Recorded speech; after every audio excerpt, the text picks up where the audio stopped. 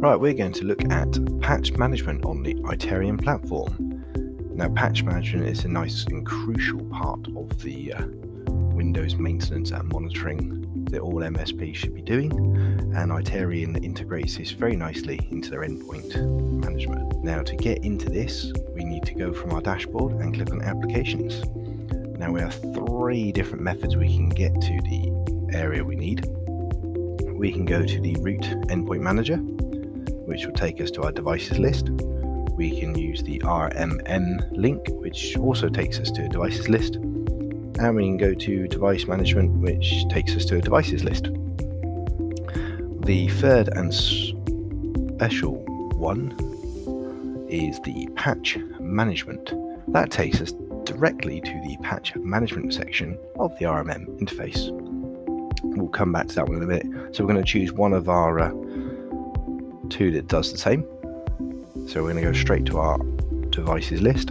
And we can see here from our devices list straight away, we get a really nice um, column in the middle here called patch status. Now looking down the list here, you can see some states of our devices. We have the red X that says there are critical patches missing. So Dan PC1 has one missing. We've got uh, Dan PC3 has got everything up to date. We've then got uh, Rick S01. He's got 201 criticals, etc., all the way down. And then we've got uh, WinRick 2 at the bottom here as a uh, slightly non critical patch that needs deploying. Now, something we can do quite easily from this is we've got only got a few PCs in our uh, test bed here, or if you wanted to pick on a particular computer because it's like just adopted it and you want to get it up to scratch, you can click straight on this number here, and it'll take you straight to that endpoint under the uh, patch management tab on the operating system subsection with a filter already applied for the available devices for like, patches. So uh, all these patches here, you know, according to the list of 201, as you can see, we've we've got about 20 on the page here, as it uh, dictates at the bottom, and we can change that if we wanted. We have every available patch. Now we can filter this further if we wanted by clicking on the little filter button. By default, clicking on a link, it has applied this here status as available as you can see here, we've got various other filters we can apply to make this list smaller, etc. But if we just look at the list itself, we have a couple things we can do here. I can tick the button here at the top, which will select all 20 I can see, and then I can install, uninstall according to what I'd like to do with that patch. I could then also turn around and maybe just tick a couple and then install or if I was really, really uh, generous, I could say let's go all 200. I could then tick the lot. Oops, there we go, that's better. Helps if I can click a mouse.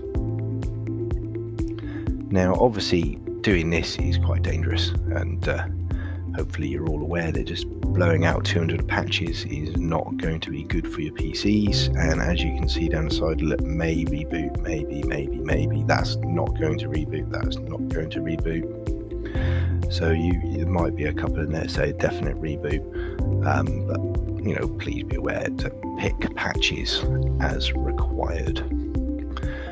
So that is one way of managing patches on a per device level. Now that there is very useful and very good if you've got either problematic devices, a couple that are lagging behind, or you're just trying to build a new machine or something. Uh, it's not very good if you've got mass deployments you need to do. So, what you can do is we can look now at our applications and we can go to patch management. This here, patch management, is the same as if we click applications and clicked on patch management here. Exactly the same interface. It's just a shortcut. So in patch management here, a slightly different angle. It's based not on a device this time, but the actual patch. So as you can see here, we've got the, the patch name, its KB number or bulletin details, its classification, product if known, and type of you know severities, reboots, etc. You then also have how many devices don't have it installed, how many do, and you've also got the release date of the patch. So, for instance, you know, if you all look back at you know our history and stuff, if you were looking at MS Blaster, for instance, for uh, Windows XP, you would turn around and say, you know what, I've got two people that's got the patch installed, and I've got 200 that don't. So, for instance, in that scenario, like I've got here for this Windows 10 one, you'd select that patch, and you'd obviously then install that patch and it asks you to install it and it will install on all devices that don't currently have it installed. So it allows you to target particular security vulnerabilities and particular patches or issues. So say there's a particular program that needs a particular patch for it to work properly, you could target that one patch and get it out. Um, you can also see as well you can schedule patch procedures, which we'll go over more in a moment. Uh, but also as well, you'll notice there is a procedures button there as well. Uh, but something you probably notice as well is you can hide and unhide patches. So for instance, we've got a patch here. Uh, let's say this is a really, really old patch or something we're not worried about because it's been superseded with someone else. We can hide the patch out of our view so it's no longer there. But I've hidden it. How do I unhide it? Well, this is where you then got to go to your filter and you say show hidden patches. Once your filter's there, you'll notice then we've got a slightly different color at the top. These hidden, we can then unhide. And if I go there and show, turn that back to normal filter, there we are, sorted. So that there is on a per patch level. Once again, that's all well and good, but it's not the crux and the heart of the system. You know, we like things to be automated, we like things to be kept up to date without us worrying about it.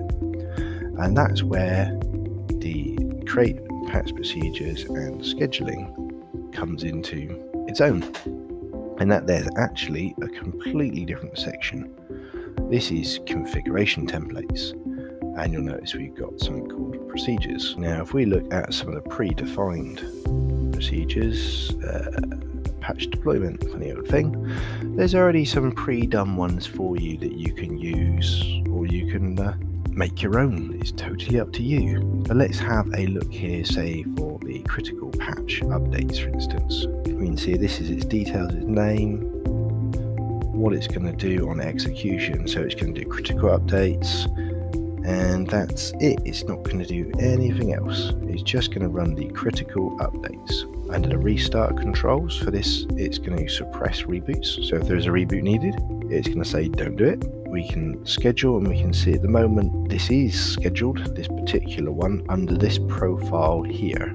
Now, and this is where it gets a little bit uh, interesting because you've got the procedure which you've got to run, which is how the thing is done You've then got the profile, which is applied to devices, which tells it how your AV is configured, what to report on, what to monitor, but also, as you can see now, what to schedule. So, in your profile, you can schedule to run this procedure, say daily, weekly, every fifth hour, whatever you want to schedule and what you feel is necessary. Something else that's really good is you can see the execution log. So for instance, if I click on this here, I can see that Dan PC1 last run this on the 8th of the 12th at 7.39 um, and it ran it using this profile. It was a scheduled type of run and all the other details. We can drill down further into that. Now we can see that the procedure uh, ran quite happy, so nothing to worry about. Now you can obviously find out this details if I went to Dan PC1, I can go into logs that way and see exactly the same if we're looking from the device view. So just to show you that, if we go to Dan, we can go to logs at the end, we can look at patch logs, we can see there, there's the critical patch procedure called by the profile, is that the same scenario? Or just you looking at it from the other angle? Now, depending on what you do as a business as well, if it fails, for instance, you could have it create a ticket, then you'll be able to see the tickets that link to this and how that's progressing. So you can see it's a very all encompassing system for patch management and it's very, very flexible and it's knowing what you want to do. So, what I'll do, let's look at very quickly these procedures. Let's drill in and let's actually edit one so we can see.